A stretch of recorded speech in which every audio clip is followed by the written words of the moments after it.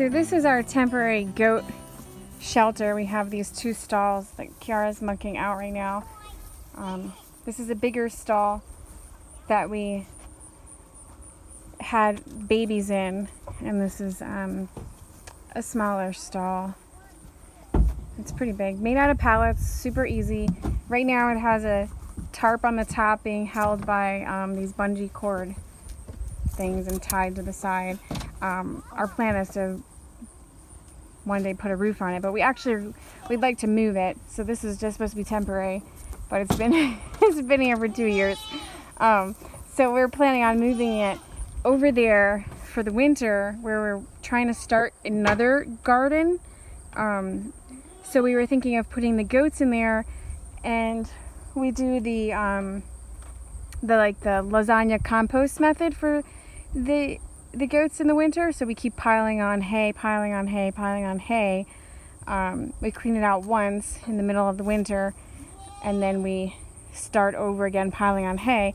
And the idea of putting it over there where we're starting a garden is that we can just easily take it apart at the end of the season and leave it there for the chickens to scratch into the garden. And then you already have this beautiful compost that was made all winter from the goats. And by the time you're ready to plant in it, our season is late. Um, everything is fine and ready. Okay, Sienna, she's she's pushing my my butt as I try to. Hi, Sienna. Sienna is our funny goat. She has such a personality. Yes. She's not being mean right now. She just wants me to pet her and play. And here's Agnes, our other mama. So we have Sienna, and Sienna had this beautiful baby Noelle that's coming towards me right now. Hi, Noelle. And Agnes, who's pooping right now, she had this little baby who has like a light blue color. She is named Stellalina. So hi, Stellalina. Hi, Stellalina. And Stellalina, if you don't know, means little star. And she was born, um, and we just felt like she was the little star because she was only there was only one goat born.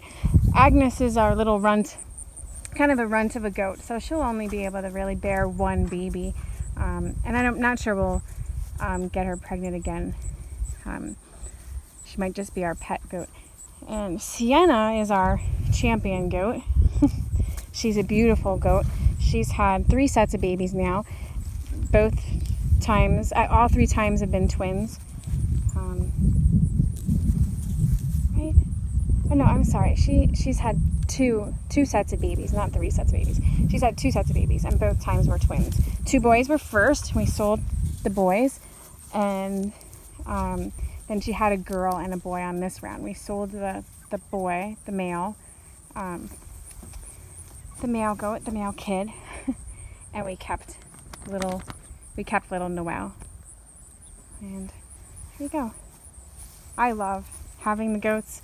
Um, our purpose of having them, one is they've really have helped improve our soil.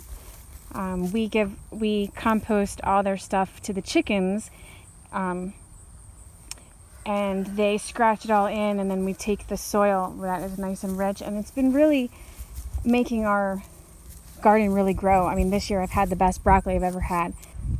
We're still working out some things here and there with the goats. We're planning on right today, um, kind of closing off this area, maybe reseeding some spots from the winter, um, and moving them over there a little bit where it's a little bit more weedy and they can get some of the leaves off the trees because goats really like to be in the woods and they like trees, but we don't like to put our goats in the woods because we have so much poison ivy and goats they love poison ivy so our first year with goats, we were like, yes, they're going to eat all the poison ivy up.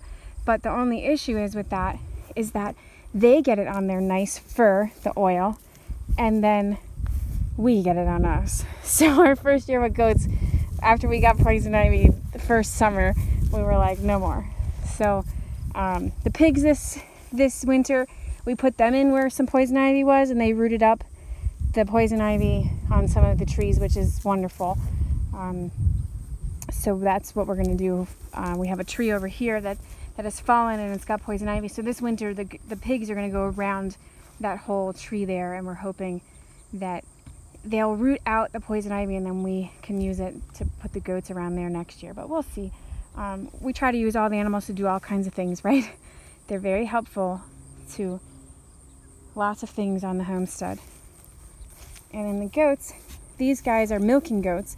So Sienna is our milker, but um, we've been using the milk right now to fatten up our pig. We haven't been using it for ourselves, unfortunately, not yet. Um, cost of feed has been high, and um, getting peas to add to the protein for the pigs has been rough. So we give them some excess eggs and the goat milk right now. And then we'll have, I heard that goat milk really makes a pig taste even yummier. So we're excited about tasting our pig, but not all, not really excited about butchering um, and not having him anymore because he's one of the family too. But everything has a circle of life, and we treat them as best as we can. We love them as best as we can, and then we eat them as best as we can. not our goats, though. Okay, Sienna. Here's Kara moving the goat fence. She's locked up Sienna and Agnes, but she lets the babies out because they stay close to where their mamas are. So the babies are out eating. So we just finished moving the fence and let the goats out into a little bit of taller grass. Our grass isn't growing really tall because of no rain. Um, but this is what they have so far, which is great. They love the weeds. So all the weeds that are growing up, they'll eat down. And they're happy. Happy goats. Happy goats. So we were gonna move them over there where the, there's some weeds and stuff, but we'll just figured right now let's give them this and then we're gonna move them out that way towards the trees. We, uh, one of the reasons why we didn't is because we have a duck sitting on eggs and we didn't want to move her house yet. We usually move their houses um, frequently because ducks get yucky.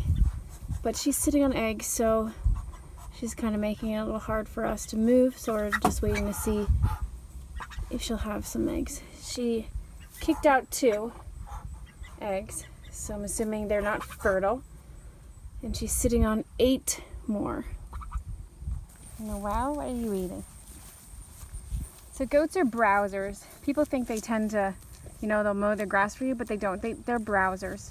The male goats we had, they tend, we had four. When we moved them in a spot, the grass would be down in like seconds.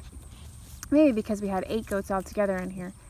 But usually they just kind of browse, looking for things they really like.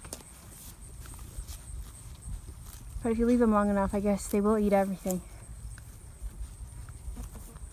So right now it's drying. We will put um, some mixture of diatomaceous earth, essential oils, and baking soda inside their stalls in a little bit. But we're letting the sun air it out, dry it out. Then we will put that down on top of hay. Um, diatomaceous earth helps to kill any mites, um, keep away, you know, worms and different things that would bother the goats as well. So, fly larvae, all that stuff. The Muscovy ducks and the chicken will will get, so the goats can be a little more free from flies. There's still, it's not a guarantee that all your flies will be gone off a goat, but much much of them. You have a lot, a lot less. Our first year with goats, the first summer, we didn't have any muscovies or um, chickens in here. And I felt so bad. We kept spraying them and spraying them with these different essential oils every day, and it helped. But then once that wears off, the flies are just back again. So um, they I, they have minimal flies this year, which is wonderful um, from the from the Muscovy ducks being in here and the chick. And then we, we carry down some chickens, usually after we clean out the stalls for cleaning, extra cleaning. But now that we have that one chicken here, I think I think it's fine with the duck. I think they'll be, the stalls will be great. Here's where we put our goat hay, poop, um, and here you see the chickens loving it. So this is, these are our, I call them the compost chickens. We put our compost here, we put our grass clippings, we put everything here. Um, this year we haven't had a lot of grass clippings, so we've been just using the hay and the goat poop. But um, here's the chickens scratching, scratching, scratching. They compost everything for us, shred it up real small, as you can see. Um, I'll use my foot to show you. It's they. This was hay. This was hay, and now it's um, more manageable, as you can see. Chicken thinks he's gonna find. Uh, so I just um, raked some of this up off of the. They had scratched it all past there. I just moved the fence back a little bit and um, raked it back so I can move the fence back because they're kind of stretching the compost area. I don't want it to go that far, but but um, sometimes the kids just they wheelbarrow it in and throw it at the edge. I kind of like it to be wheelbarrowed in and thrown here, so um, all the compost can kind of stay in this fenced area. I mean, I'm, I'm planning on having this whole area be a big compost heap. Um, so this is what we do with our chickens, and then this compost goes into our garden next spring, and it feeds the garden. And some of it goes in um, now for for fall gardening, but honestly, I decided not to do fall gardening. You just have so much happening, and we have so much that is growing that we planted a little late that is growing that I think we'll have plenty for the fall. Um, we might just plant some lettuce. Um, but here, and then composting is supposed to be really easy, but it's hard on a family.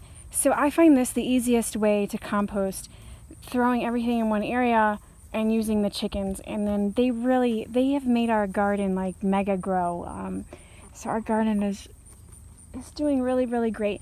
And then in the fall, in a few weeks when we harvest some of the rest, some parts of our garden, we'll, we'll, we'll block off some areas and let the chickens in to clean up. And the nice thing about this composting is not only are they shredding into real tiny like dirt there, um, so all that hay will look like this.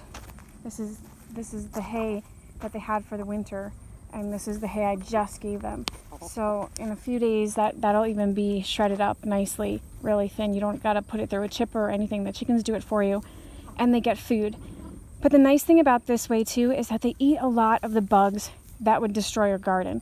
So I feel like we have like a, a heads up on, um, like a, what would you call it? Like a, I don't know.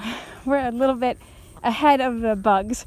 Um, you're still going to get bugs, but I find this is a great head start with using their compost. Then you don't have as many bugs in your garden. Um, yeah, so there they are at work.